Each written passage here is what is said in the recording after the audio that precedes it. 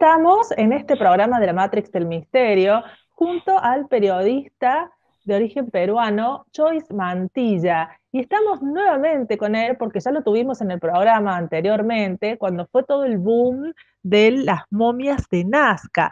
Y quedamos en esa ocasión, cuando ya tuviéramos un poco más de información acerca de cómo se desarrollaba el tema, que íbamos a volver a hacer una nueva entrevista ya con todos los datos, con toda la información y el momento ha llegado. Así que lo tenemos aquí en la Matrix del Misterio al señor Joyce Mantilla. ¿Cómo está? Hola, qué gusto estar de nuevo con tus oyentes de la Matrix del Misterio. y tenemos, eh, la verdad, mucho para hablar porque quedamos ahí este, con este tema de que el ADN, de que no el ADN, de que los huaqueros, de que el comercio en Perú. Así que tenemos un montón de temas en el programa de hoy, pero vamos a arrancar. Eso, eh, tienes una batería, una batería de preguntas. Vamos, dispara, dispara. Sí, sí, sí, hoy, hoy estamos afiladísimas, pero bueno, acá este, Joyce Mantilla es gran conocedor porque Joyce, eh, fuiste una de las pocas personas que tuvo contacto real con esas momias. Sí, así es. Es este, de los periodistas peruanos, el único. El único, claro. Y que además conoce a el equipo, ¿verdad?, de, de, personas que estuvieron a cargo de esta investigación. Porque acá hay que decir que acá hubo estudios científicos realizados, ¿no es cierto? A ver, refresquémosle un poco a la gente. Se encontraron unas momias en Nazca. ¿No? Supuestamente, por ahí se dice que no fue Nazca, pero bueno, se encontraron unas momias bastante peculiares. Entonces se las llevó a, estudio, ¿no? Y vos, eh, Joyce Mantilla, estuviste presente en el momento ese famoso de estas radiografías. A ver, contar un poco a la gente cómo fueron esos estudios, qué grado de cientificidad tuvieron, que se le hicieron en aquel momento a estas momias, o mejor dicho, no eran momias, eran cuerpos desecados, ¿no? Sí, cuerpos desecados porque normalmente en los rituales de momificación se le extraen a los cuerpos todos los órganos internos. Sin embargo, estas momias, estos cuerpos desecados han sido encontrados casi íntegramente con sus órganos internos y en buen estado de conservación. Eso es lo que se ha podido ver en las tomografías que se han realizado, una por una, entonces se ha podido verificar el contenido. Por fuera, evidentemente, cuando uno revisa las imágenes, parece que fueran unos, unos, unos objetos, unos cuerpos tallados en yeso o en un material similar, ¿no? Pero cuando uno ya las ve por dentro, evidentemente puede ver la estructura física, la estructura ósea, la estructura de sus órganos internos y es rarísimo que una momia como la momia María, que muchos deben haberla conocido, de un metro setenta aproximadamente, tenga 1800 años casi de antigüedad y tenga todos sus órganos internos, obviamente ya, eh, ya reducidos un poco en tamaño porque han perdido agua. Sabes que casi el 70% del cuerpo es agua y a la muerte toda esa agua se pierde, y, pero los órganos están ahí. O sea, es un rico material para analizarlo cuando se puedan recuperar estas momias que están en manos de quienes la encontraron. ¿Qué grado de cientificidad tuvo esta, eh, este primer análisis? ¿Quién, ¿Quiénes estaban allí? ¿Había médicos allí? ¿Quiénes eran esas personas? Había un médico cirujano, un médico forense, eh, un biofísico y había una persona cuya identidad ha preferido mantenerla en secreto por su privacidad, pero sin embargo, este, él es un antropólogo físico, un experto en este tipo de, temas, pero que trabaja con el Ministerio de Cultura. Entonces, él, como además eh, él dirige algunos proyectos en la zona norte del Perú, no quería verse involucrado en eh, controversias que pongan en riesgo su puesto de trabajo dentro del Ministerio de Cultura. Entonces nos permitió que lo mantengamos, que nos, nos ofreció su ayuda sin embargo, nos, pidió que lo mantengamos a reserva. Como antropólogo físico, él trató de dirigir en lo posible las tomas de muestras y el manejo de los cuerpos. Pero evidentemente el primer encuentro, que es el que se ha hecho conocido por todas partes, en una azotea, evidentemente no es el más adecuado. no era el más adecuado. Entonces lo que hicimos fue eh, pactar con los, con los que poseían estos cuerpos un segundo encuentro en un lugar y en condiciones lo más asépticas, lo más limpias, lo más apartadas de la contaminación posible. En ese segundo encuentro, que fue aproximadamente un mes después, también está documentado, yo también estuve presente ahí, y las muestras las dirigió este antropólogo físico, y todos pasamos por un ritual de desinfección, descontaminación, para poder ingresar solamente incluso a, a grabar, a hacer tomas. Imagínate las personas que tomaron las muestras, ¿no? Con guantes, este, barbijos y una serie de aditamentos que les impedían, que impedían en lo posible la contaminación. Aunque siempre va a estar presente, se reducía de alguna manera las posibilidades de contaminación. Se tomaron las muestras bajo su dirección solamente en los lugares que él recomendó porque al tratarse de seres únicos en su especie, no podíamos arriesgarnos a dañar el cuerpo o los cuerpos. Entonces, esas muestras han sido llevadas, fueron extraídas de la manera que nos indicó, fueron rotuladas y envasadas en pequeños, pequeños frascos, pequeños frascos como este.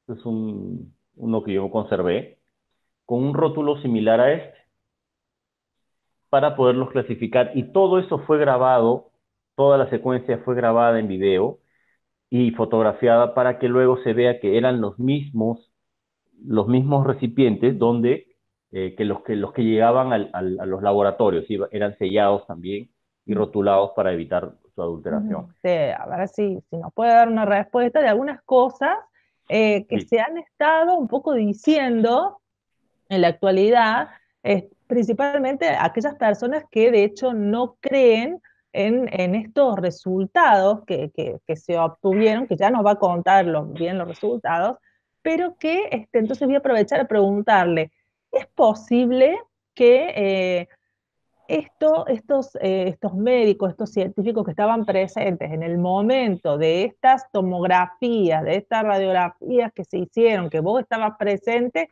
y que sé que filmaste sin detener la cámara, es decir, no hubo corte, fue toda una secuencia entera donde no hubo forma de que se hubiera podido este, adulterar algo, cambiar algo, ¿no? Este, pero que de todas maneras, o sea, ¿cómo van a cambiar qué? Porque supuestamente, bueno, si son realmente estos seres este, tan diferentes. Este, no vamos a poner muestras humanas, ¿no? Para que salga humano. tienen que ser las mismas, ¿no? Claro. Bueno, pero lo que se está diciendo es que acostumbran eh, eh, algunas personas que están en el comercio de estos eh, tesoros arqueológicos, restos y todo eso, a, elaborar este, estos cuerpos y que lo hacen mezclando ADN o partes de distintas personas y animales. Entonces, que esa mezcla puede llegar a elaborar, digamos, estos cuerpos y que pueden llegar a confundir a los, a los médicos. ¿Puede ser esto? E, es, probable que sí, pero ya los análisis más profundos indican que no ha habido adulteración en la momia María, por lo menos. En los otros cuerpos están todavía pendientes de un análisis más profundo, pero eh, hay cosas que se, digamos, no se puede, o sea, no se trata de un, de un juego de piezas, de un rompecabezas, un mecano, eh, o un puzzle, como le dicen en, en otros sitios, no se pueden agregar dedos sin dejar evidencia, sin dejar muestras de las juntas, de, la, de las zonas en donde que fue pegado, ¿no? Y si fuera mutilación, también deja evidencia. Si tú tienes una lesión en un hueso, pueden pasar 20 años y un radiólogo va a notar que hubo crecimiento, que hubo mutilación, que hubo lesión, todo deja huellas. Y un radiólogo con experiencia y con los aparatos del caso puede notar si ha habido alguna adulteración. Imagínate un corte. Se notaría, dejaría huellas de, un, de, que ha sido mecánicamente extraído, dejaría evidencias, y sobre todo en un cuerpo que ya está inerte, ya no hay crecimiento, ya no hay, eh, ya no hay resanación de tejido, ya no hay reconstrucción ósea ni, ni siquiera física. Entonces, dejaría las huellas ahí. Entonces, todo lo que se ha podido ver en las, en las tomografías y radiografías indican de que los cuerpos hasta el momento que hemos podido analizarlos son tal cual los encontramos. Hay personas que pueden creer o no creer, es el problema de cada persona. Acá no se trata de que alguien se tome la píldora si no quieren abrir la boca. Eh, ha habido una cadena de custodia con limitaciones, evidentemente, pero los resultados, las tomas de muestras que se hicieron fueron las mismas que llegaron a los laboratorios y por eso los laboratorios están entregando resultados muy extraños. Si fueran de humanos, de perros, sería fácil identificarlo porque esas muestras tienen un ADN que entran a unas máquinas y ya tienen codificadas en su base de datos por lo menos 2.000 especies animales. La base se llama BLAST, como un aparato para cotejar. Tú metes el ADN, ingresas el ADN que vas a estudiar y esta máquina va a comparar con su base de datos y va a establecer similitudes. Y es automático, ahí no interviene alguien que cree o que no cree, que le gusta o no le gusta. La máquina da un resultado y ese resultado es el que tienes que comunicar, te guste o no te guste. Si no crees que la cadena de custodia es la, la, necesaria, que no fue lo suficientemente eh, profesional o limpia o fuera de dudas, tiene todo el derecho de creerlo. Yo también dudaría, créeme, yo también dudaría, tendría serias dudas respecto a la cadena de custodia o a la forma que se tomaron las muestras. Las personas que no creen tienen derecho a no creer y pueden tener sus razones y también son válidas. Ahora acá se trata de que yo, como un profesional que está metido en esto, que no gana ni un centavo de esto, pero que como periodista, que tiene una carrera de más de 25 años en país, he hecho radio, he hecho televisión comercial, he hecho noticieros, reportajes, y ahora ya tengo una productora independiente que me permite manejar mis tiempos y dedicarme a una investigación tan larga como esta, no solamente está en juego mi nombre, mi prestigio, la cara que tengo que poner delante de mis colegas, que todos me conocen acá, sino también está el respeto hacia el público, el respeto que como profesional nosotros nos debemos al público. Nuestra misión como comunicadores es transmitir la información de la manera más veraz posible. si yo viera algo que no está en su sitio, que cambiaron un frasco, que metieron algo raro o cualquier cosa, cualquier sospecha, hace rato hubiera dejado el caso. Es más, tuve todas las, las puertas abiertas sin límite a la información de parte de Jaime Maussan, que es el periodista mexicano que está dirigiendo esto con su grupo Tercer Milenio, la gente de Gaia.com, que son los de la cadena norteamericana de televisión que ha financiado gran parte de estas investigaciones, y de Incari, las puertas abiertas del Instituto Incari, que es el Instituto eh, de Arqueología que fue el primero en recibir estos cuerpos para sus primeros análisis. Cari me ha abierto las puertas todo el tiempo, Thierry Yamin eh, se ha portado de manera muy generosa y transparente con nosotros, así que yo no tengo nada que cuestionarles, al contrario, agradecerles la oportunidad de acercarme a un hallazgo de este tipo tan controversial. No estamos afirmando que todo sea 100% real. Si fuera así, la noticia ya hubiera dado la, la vuelta al mundo y estaríamos hablando de otros temas, no estaríamos en esta controversia. Porque los resultados de un laboratorio, si son concluyentes, son concluyentes, ¿te gusta o no? ¿Cuáles fueron? Bueno, ya han salido publicados hace casi dos meses. Gaia.com sacó un, reportaje amplio donde muestran los estudios que se han hecho en la Universidad de Nueva York, en la Universidad de Leipzig y la Universidad de Carrington, si no me equivoco, además de la universidad de, de, una universidad rusa. También se han hecho estudios en Canadá, y realmente tiene estudios en Canadá y en Puerto Rico o Costa Rica, no recuerdo cuál de los dos países. Y estos resultados indican que eh, el ADN de María, que es el, que más causa controversia, eh, tiene un porcentaje apenas que se acerca al 30-35% similar a los humanos. El resto es ADN contaminado, que obviamente por la forma en que se tomaron las muestras es muy probable que tenga altos niveles de contaminación, pero este, en muchos casos es ADN desconocido. No es el ADN de los que estaban tomando la muestra, o del camarógrafo, o de un perro, o de una vaca. Es un ADN desconocido. Eso es lo que llama mucho más la atención. Y ya confirma un ADN previo que se hizo, un estudio de ADN previo que se hizo en la Universidad Autónoma de México. que también ya daba estudios de, en diferentes universidades coincidido? Sí, están coincidiendo. Están coincidiendo. No exactamente no te dan el 25%, 26%, pero el rango es aparentemente el mismo que el que sacó, eh, que uno de los primeros que sacó fue el de la Universidad Autónoma de México, que es una de las principales universidades públicas que tiene la, eh, México, ¿no? Como país. Es importante que, o sea, tú para, para tener un ADN humano tiene que ser 100% humano, no puede ser 98% humano y 2% desconocido. Entonces ya no es humano ya porque los chimpancés comparten 98 o 99% del ADN con el humano. Te, eso justamente te iba a decir, sí, que había estado viendo eso. Así que evidentemente el caso de María veo como que lo está separando.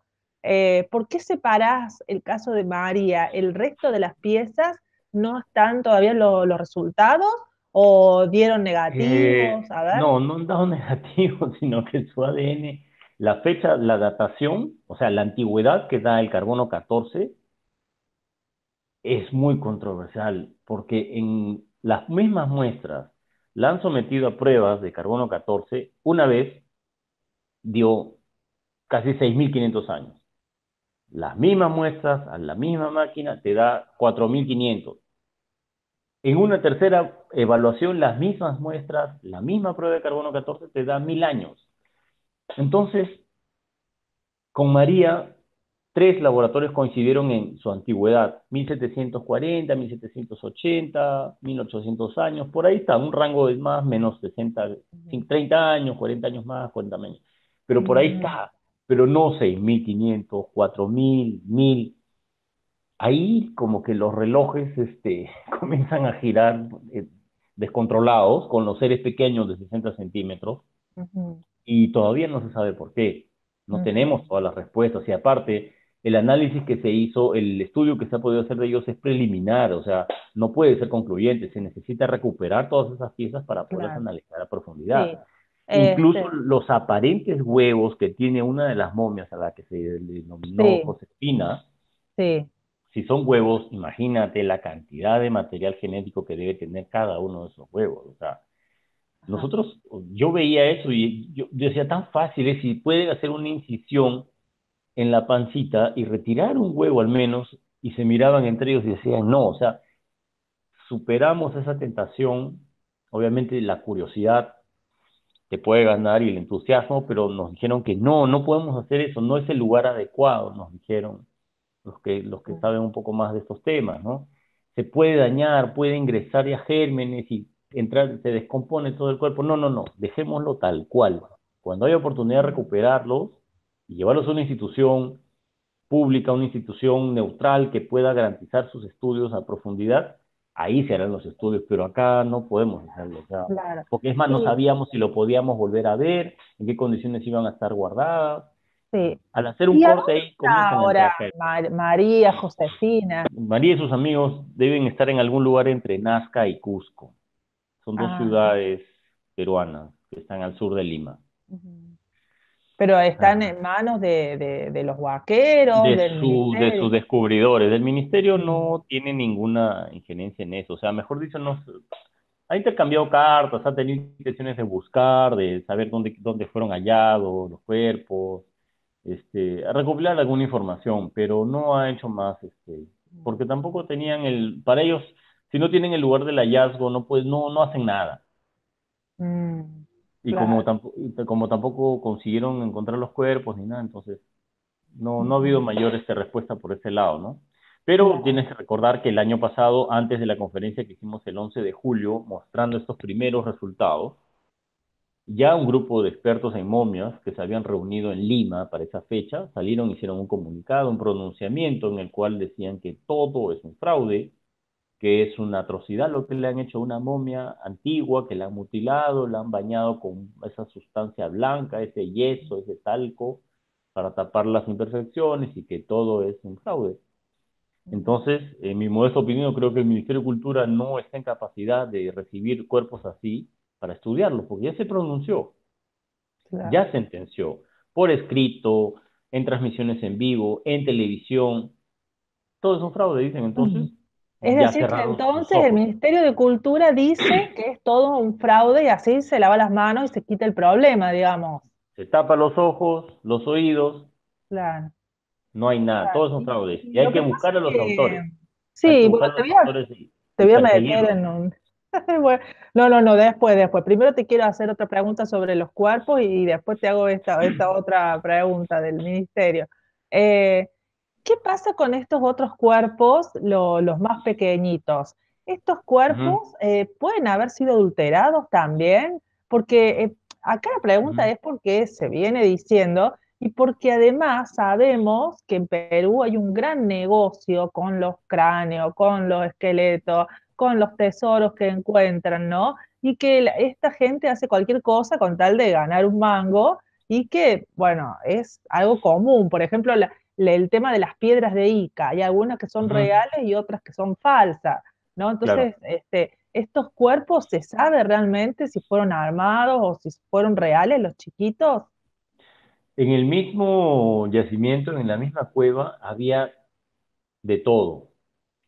María, los pequeños de 60 centímetros y otros más pequeñitos que parecen unas réplicas o como unos muñecos o una especie de figuras de acción como de las otras momias. Había de todo, ¿no? Esos pequeños que miden 15 centímetros, 20 centímetros por ahí, son los que exhibió uno de los antiguos compañeros de los vaqueros, que, que los envió incluso al Ministerio de Cultura y en dos meses le dijeron que eran armados con huesitos de animales modernos.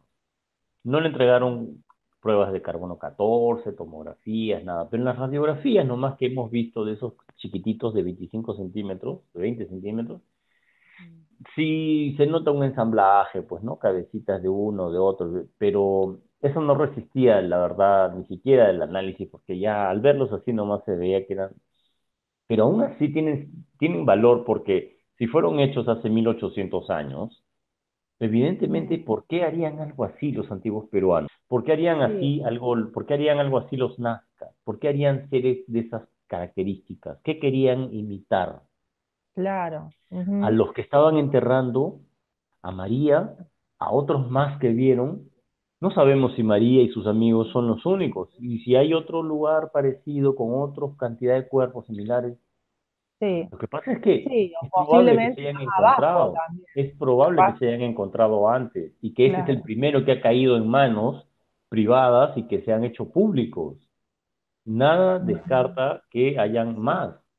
Entonces, en, en, ese yacimiento habían los que lo hemos llamado los muñecos, los seres de 60 centímetros que tienen características de humano y de reptil, y María, y Guaguita, que es un bebé de aproximadamente dos años, tres años, que son eh, similares características, parecidas a los humanos, no comparten, no son, no son familia, el ADN también ha revelado eso, que no son familia, pero sí son de la misma especie, aparentemente.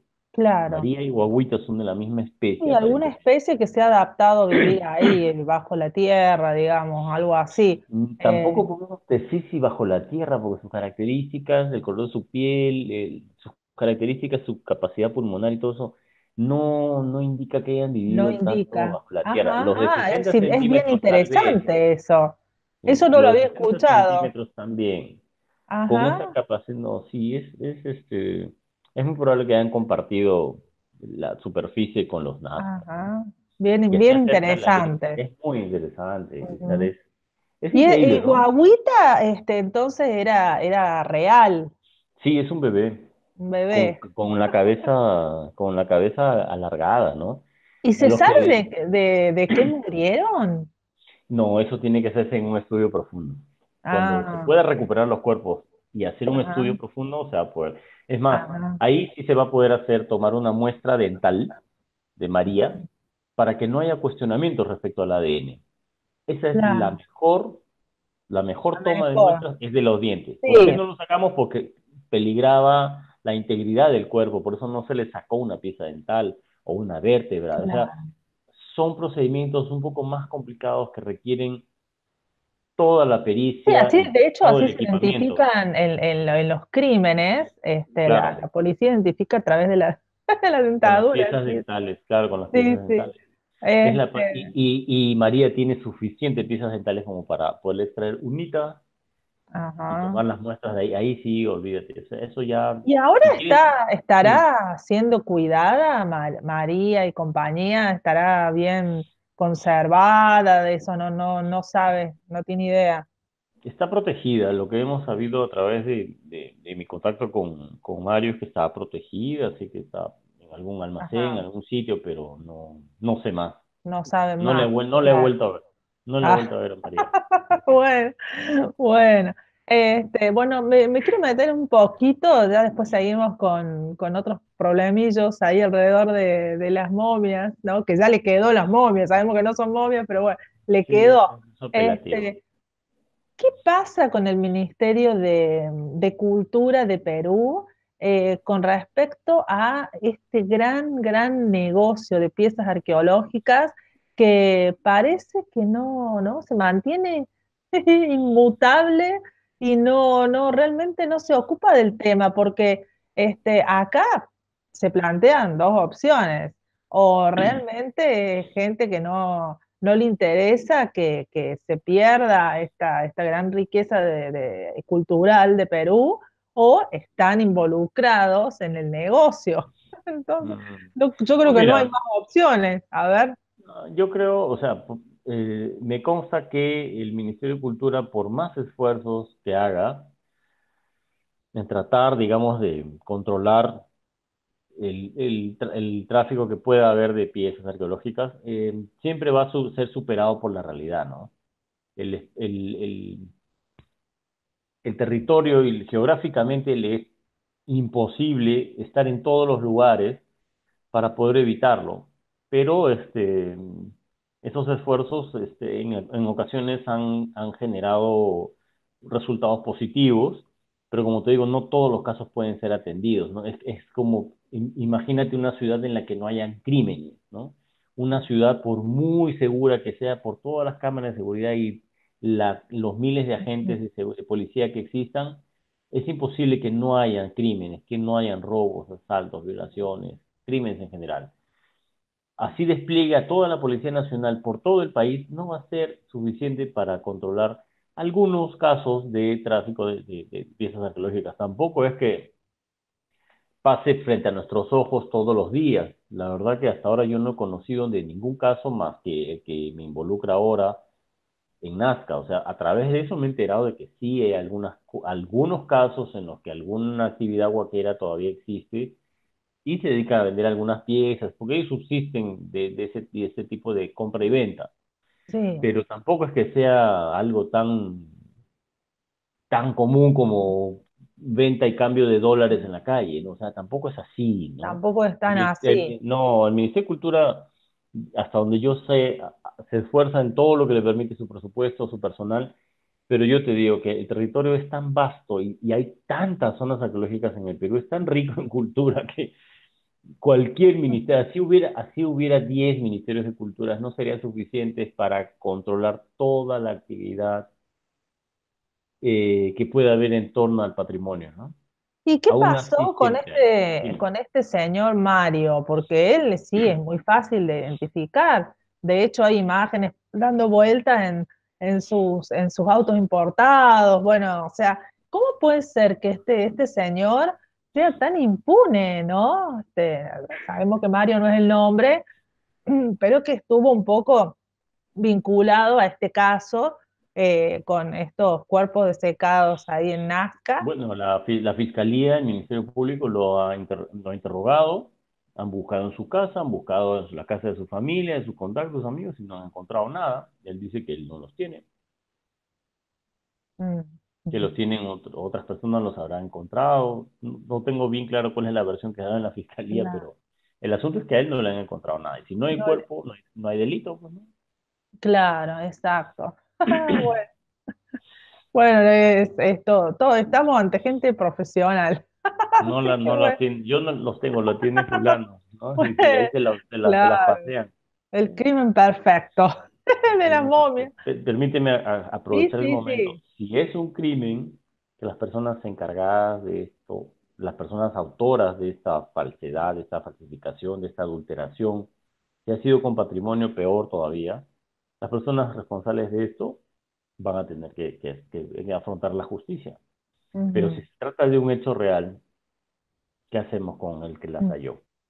Así tenga antecedentes poco claros, así tenga sospechas o algunas sombras en su vida pasada, ¿qué hacemos si se tropieza con algo así? Acá, por ejemplo, en este caso, si fuera todo real, entonces no habría fraude, ¿no? Porque sería real. Pero este, el tema es que de, a quién pertenece, ¿no? Un hallazgo mm. así, invaluable. Yo creo que en realidad, por más que le pongan un precio. a la nación peruana, ¿no? A la, nación, peruana. claro. ¿Y qué dicen los peruanos, la gente en la calle? ¿Se interesa por No es un tema, no es un tema tan común como hablar de la migración venezolana o, o no sé, o la corrupción. Es un tema que está todavía en los círculos de redes sociales, en algunos círculos especializados, en algunos foros, pero no es un tema eh, de dominio público masivo todavía. Salvo en algunas presentaciones, se han presentado hace poco, estaba en una entrevista en televisión, eh, otra en radio y así, pero se enteran pequeños sectores, lo escuchan como una curiosidad más y pasan a la siguiente historia. Todavía es que los cuerpos no se han presentado físicamente todavía al pueblo, al público, no se les ha presentado más que los videos, la tomografía, la radiografía, pero ya pues la gente quiere, quiere carne, quiere carne, quiere sentir, tocar, verlas, por lo menos saber que están ahí. Para involucrarse este, un poco más, ¿no es cierto? Básicamente. Para sorprenderse, para sorprenderse y para esperar que se le hagan resultados, que se le hagan estudios profundos que determinen ¿Por qué tienen esa apariencia? ¿Fueron reales? ¿Así vivieron? ¿Quién, si, no es real, ¿quién las cortó? ¿Quién las mutiló? ¿Quién fue el autor de ese, de ese, de ese, fraude? Pero el tema va a ser que si los estudios confirman que es real, como hasta ahora los, los indicios que hemos analizado, que hemos visto y que yo estoy reportando, todos esos indicios apuntan a que María o Agüita y algunos de sus amigos son tal cual. Son tal cual, son reales. Es decir, no se me cayó la ilusión de que las momias eran tuyas. Hay un dato, hay un dato que, me comentó, que me comentó José Salce, que es el médico forense mexicano que junto con José de la Cruz Ríos eh, analizaron este cuerpo de María. Sí, te iba a preguntar por él, porque él, ha dado un montón de información eh, de la Cruz Sí, también, claro, los dos son los que más han, analizado estos cuerpos. Al ver las tomografías, se puede notar que el agujero magno es este agujero eh, que une la columna vertebral, si me permite, la columna vertebral con, la, con el resto del cráneo, ¿no? Ese agujero magno en los humanos está un poco hacia la parte trasera, en el caso de María está un poco más hacia adelante, está movido del lugar para equilibrar aparentemente su cabeza alargada. Esto, esto querría decir que la cabeza alargada no fue modificada con, la, con los métodos tradicionales que nos han enseñado en los libros, con tablillas o, o envoltorios, sino que su cabeza alargada era de origen. Genéticamente nació así. Es muy interesante eso porque el agujero magno tiene que estar en un punto donde hace equilibrio a la cabeza con, este, con eficiencia. En los humanos tiene un lugar, todos los humanos. si, tú tienes un una cabeza más alargada, entonces tu agujero magno tiene que cambiar de posición, de ubicación para darle estabilidad. Y, esa, característica, esa característica es extraordinariamente reveladora y tenemos que confirmarla con estudios más profundos porque, como te digo, eso no tiene ninguna especie humana. Incluso las huellas dactilares que tiene María, todas las huellas dactilares humanas son elípticas, ¿no? Eh, eh, en forma elípticas, circulares, pero ninguna son rayadas, como un cuaderno de rayas. Todo eso, sí, sí. Nadie tiene esas huellas. Son características únicas que solamente... ¿Y cómo se, fragua una huella dactilar, no? ¿Cómo se puede fraguar una huella dactilar? Sería bien complicado. Habría que preguntarle a, a, los guaqueros que dicen que los guaqueros... que los este, que dicen que es una Hollywood. Sí, hace, un año que dicen que es una momia armada y hasta ahora, más de un año, que dicen que es una momia armada y nadie presenta una momia armada hasta ahora. En más de un año y medio nadie puede presentar una momia armada. Y si la muestran y si la hacen, que me avisen para ir a reportarla, a grabarla, documentarla, pasarla por rayos X, tomografías y sí, Hubo un caso de un muchacho argentino que intentó, hizo un video y no le salió. Sí lo vi, sí lo vi. Muy, gracioso. Físicamente, físicamente, por fuera se ve así, pero ya pues pasa tu rayos X a sale, ¿no? Exactamente, sí. pero, pero fue un buen ejercicio, ¿ah? Sí. vi su video, muy valioso su aporte también, interesante, porque demuestra que a, la, a simple vista sí, pero Claro, no era tan fácil, digamos. Claro. Excavas un poquito y ya te das cuenta de la verdad. claro, así es. Bueno, este, te voy a seguir eh, preguntando este, acerca de los líos que se han producido alrededor de este tema, porque bueno, se está hablando de esto en todas las redes sociales, y bueno, que parece ser que hay alguien que ha llevado a hacer estudios a otra universidad, a otro lugar, y que los estudios, dice esta persona, habrían arrojado un resultado diferente al de las, ¿cuántas eran? cinco universidades, cinco más o menos, nombraste. este, ¿Es esto posible? ¿Puede ser de que este, haya tal diferencia de criterio este, ante un estudio científico? ¿No debería dar el mismo resultado si es algo científico? ¿Cómo, debería dar un resultado similar, debería dar un resultado similar como el que hemos, como el que se ha obtenido en las muestras que han hecho tanto Gaia, Tercer Milenio e Incari. Sin embargo, lo que Terry y a mí nos ha explicado al respecto es que el señor Mera este, tomó las muestras, pero anunció, quiso llegar a algunos acuerdos con Incari para poder hacer documentales y hasta películas, no sé qué cosa. Y anunció que las, las muestras que iba a tomar las iba a llevar a tres laboratorios de los más cotizados del mundo. Al final, el señor Mera no fue a ninguno de esos tres eh, y se fue hasta Sri Lanka. la verdad que yo no sabía ni siquiera que había laboratorios de ADN en Sri Lanka. Se, ha ido, digamos, a los suburbios de los laboratorios donde hacen ADN. Y le dijeron que no tenían la cantidad de muestras suficientes y que no, que no podían hacer el estudio no podían completarlo porque no tenían la muestra suficiente. Y para esto ya habían roto este, eh, había roto relaciones con tierra y a mí, que ya no le permite, es que tampoco puede ir cada persona que quiere tomar muestras, ir a sacarle un pedazo a las momias, o sea, a ese paso te vas a quedar con un dedo. Claro, exactamente. Eh, después otra cosa que se dice en torno al caso es que acá ha habido gente que ha hecho fortunas con, este gran descubrimiento, ¿no? Y no solamente los vaqueros, sino la gente eh, de Maussan, la gente de Gaia. Este, ¿es, así esto? ¿Qué, ¿Qué nos podés decir?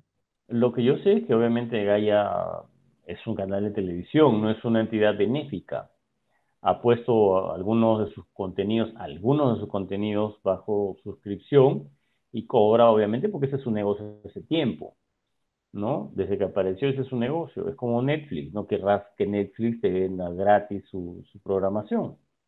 Tú pagas Netflix y si no pagas al mes te lo cortan.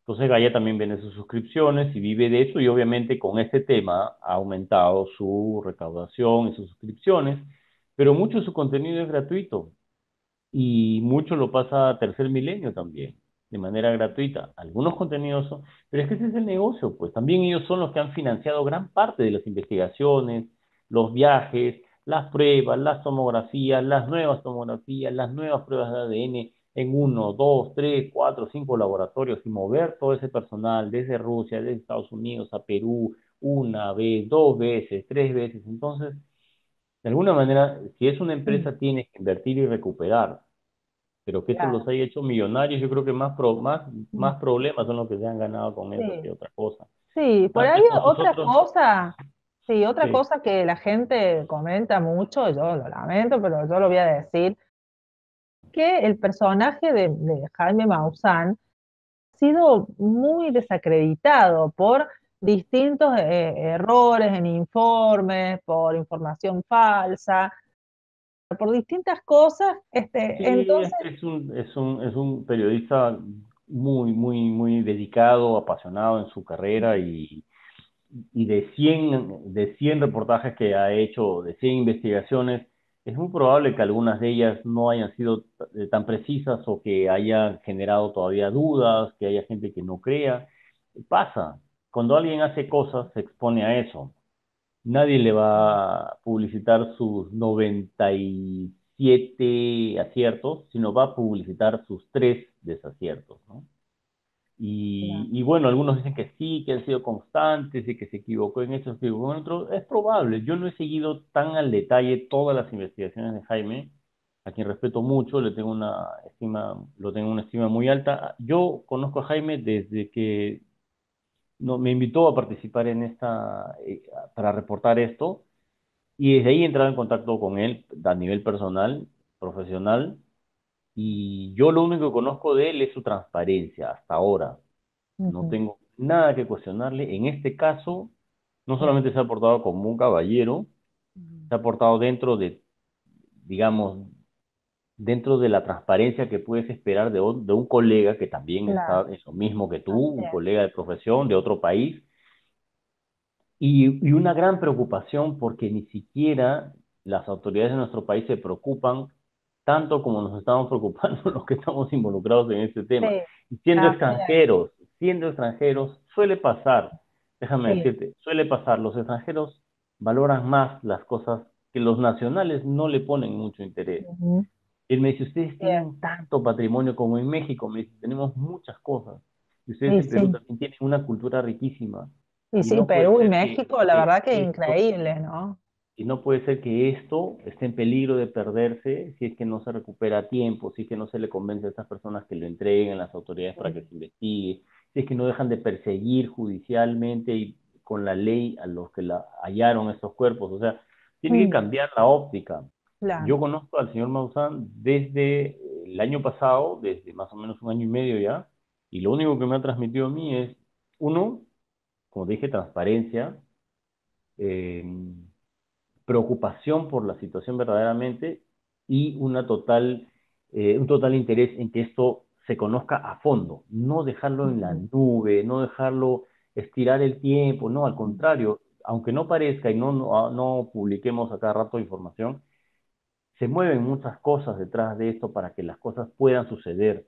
Acuerdos con alguna institución privada para que, o pública eh, para que investigue esto, eh, los estudios de ADN en, un laboratorio, en el otro, o sea, por, siempre estamos en contacto tratando de ver alguna cosa nueva que esté por salir para poderla documentar, pero como te digo, yo lo único que tengo hacia Jaime Maussan, hacia Gaia y hacia Incari es este mi respeto por la forma en que están trabajando. Se equivocaron, en otro caso Jaime Maussan de, de todas claro, que es cierto también que cualquiera se puede equivocar. se puede equivocar, ¿no? Y, hay que, y créeme que hay personas que así les pongan los cuerpos desecados en la mesa de su casa, no van a creer. No van a creer, no, van a creer. No, es así. Bueno, lo mismo pasa con, con, todo el fenómeno, con todo el fenómeno ovni en realidad. ah, eh, es otro tema. Y ahora en, va a haber un próximo congreso y que eh, va a venir alguien que este, seguramente conoces el caso de, eh, de, este ovni en el desierto. La joya, en Arequipa. Exacto, sí, sí, va a venir este, eh, este, este señor aquí, bueno, a dar un congreso, bueno, ¿qué, estás, ¿estás al tanto del tema ovni en Perú? ¿Conoces este caso? Conozco el caso porque su hijo, que es también de la Fuerza Armada, me entrenó en un curso de supervivencia en el mar. Yo como periodista a veces he tomado cursos de supervivencia en la selva, supervivencia en el mar, eh, contra subversivos, en fin. Y su hijo me, me, capacitó, me entrenó con la escuela de, de, las fuerzas especiales en un curso de supervivencia en el mar. Por él supe, Santa María se apellida el, el oficial de la, de la aviación, De la, el oficial, el coronel, el general Santa María, es, es padre de mi instructor de supervivencia en el mar. Y por eso supe del tema, supe de lo de la joya, me contaron algunos detalles y creo que es el único caso reportado, registrado en los archivos de la NASA, creo, de la persecución de una nave eh, aparentemente extraterrestre por este, un piloto, ¿no? Con su avión. Es el único caso. Yo no soy un seguidor del tema OVNI, yo soy un periodista que cubre política, sucesos y ahora estoy apartado un poco del mundo de la política porque tengo mi productora y me dedico a temas comerciales. Pero tenés cierta apertura al, tema. A mí me interesa todo. Mientras haya evidencia suficiente, mientras haya información que se pueda verificar, que se pueda rastrear. Nos ibas a mencionar algo de un documento que ha aparecido que tiene que ver con este caso que estábamos hablando de estos cuerpos desecados de Nazca, de las momias de Nazca. Así que ah, bueno, a ver, contanos de qué se trata esto. Hace, hace el mes pasado, eh, tres congresistas de un partido político de, de, mi país han presentado un proyecto de ley. El mes pasado, los congresistas del Partido Acción Popular han presentado en el Congreso en un proyecto de ley que busca declarar de interés histórico y cultural la investigación de las momias humanoides de Nazca. Esto ha agitado mucho el avispero, en el sector de algunos detractores que existen por ahí, ¿no? En las redes, desde sus escritorios, desde sus laptops, este, investigan, pues, ¿no? Están en contra también de que se investigue, de que se declare de interés. si yo fuera detractor, yo sería el más interesado de que esta ley, se, de que este proyecto de ley se convierta en una ley, para acabar con las dudas, para acabar con las especulaciones. Qué bueno, de una vez, señor congresista, lo vamos a apoyar y hay que ir detrás de estos tipos, vamos a arrancarles las momias y vamos a investigarlas para ver qué es un fraude. Vamos a verlo. Que se acaben las especulaciones. Pero no, tampoco quieren esto. Están escribiendo al congresista, están llamando por teléfono a su oficina, están escribiendo en la página del Congreso en contra también de que se declare de interés histórico y que se investigue. Acá no se está diciendo son auténticas, son falsas. Se está pidiendo que se investigue, están instando al Ministerio de Cultura para que haga su trabajo, pero tampoco quieren estos señores. Dicen, son un fraude, sí, que se armaron con huesitos de llama, de camello, de perro, no sé qué. Y ahora que hay un congresista interesado con otros de su partido en que esto se investigue y que se le dé el interés que merece, tampoco quieren. Yo no lo entiendo. Yo sé, si yo fuera detractor, sería uno de los primeros impulsores de esta ley para que de una vez se acabe la especulación. Y si hay un fraude, de una vez que se determinen las, las responsabilidades. Y, si, y, si, y si la gente de Gaia o de Tercer Milenio o Incari estuvieran detrás de ese fraude, que también les caiga. Yo estoy ahí también. Yo sería parte entonces de ese fraude y que me caigan las marrocas encima y que me metan a la cárcel. Si esto ha sido fraguado para ganar dinero, para, para sorprender a la opinión pública. Si es cierto que este proyecto de ley se convierte en una ley pronto y que todas las personas responsables de este supuesto fraude caigan. Pero si no lo es, y si no lo es, ¿qué hacemos? Y si todo es ¿qué hacemos? ¿Qué hacemos? Lo único, las repercusiones de que esto sea auténtico son incalculables. Lo único, que no, lo único que no se va a afectar, creo yo, son las matemáticas, la física, la economía. Pero después la ciencia, la biología, la historia, la arqueología, de la antropología, todo va a tener es que últimamente está habiendo muchos, están habiendo muchos descubrimientos que están un poco volteando los paradigmas de la historia, ¿no? No sería el único el caso de las momias. Así que bueno, realmente me parece que sí, que hay que apoyar totalmente esta iniciativa y que realmente se investigue. Claro, no, está perfecto. Acá no se trata, acá no se trata de, o sea, el proyecto de ley no le da validez a la investigación, no dice las momias son auténticas, no, se trata de no, no Obligar, obligar con esta ley a que las autoridades encargadas de esto hagan su trabajo e investiguen a profundidad. No que salgan a hacer un, despliegue mediático, decir todo es un fraude y ni siquiera las han tenido enfrente, ni siquiera, solo han visto unas imágenes en internet y han dicho todo es un fraude. Porque no les entra en la cabeza que haya un ser como María.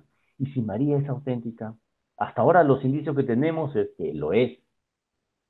Con sus tres dedos en manos y pies, con su cabeza alargada, con sus dedos perfectamente delineados. O sea, no lo sé.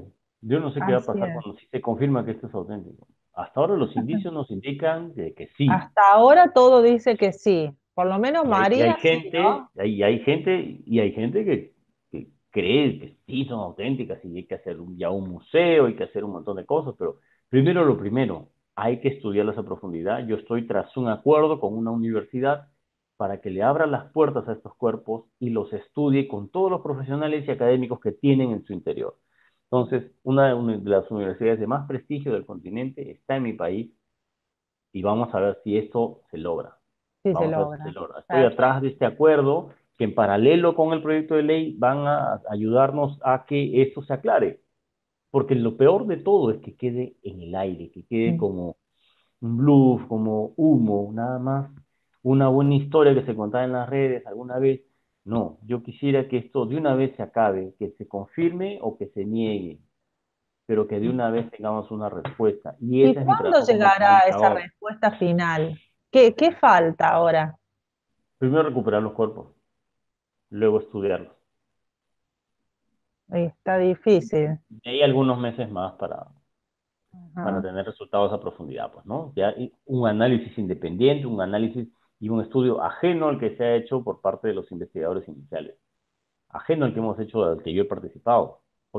Obviamente también voy a estar presente en el que van a hacer, en, en el que hagan esta investigación este, ya privada, ajena a la nuestra, ¿no? Pero vamos a intercambiar información, se les va a brindar la información de la que ya está disponible para que ellos tengan un, un un, digamos, una referencia, hoy por si acaso ya hicimos esto y nos dio esto, ¿a ustedes qué cosa les da, ¿no? De sus resultados, sus propios laboratorios, todo, o sea. Es decir, que en síntesis esta historia continuará.